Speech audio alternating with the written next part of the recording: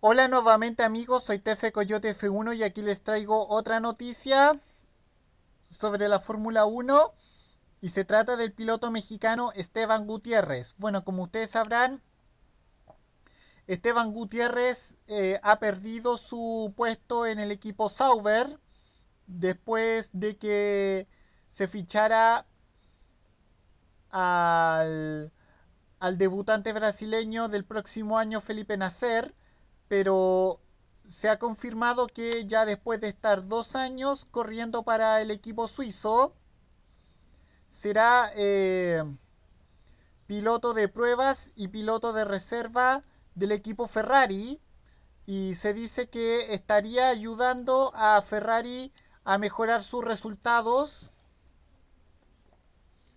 Eh, y y podría ayudar al equipo además a desarrollar el, automóvil para el próximo año. Eh, y bueno, eh, según lo que dice esta noticia, eh, aportará su experiencia para ayudar al equipo italiano y además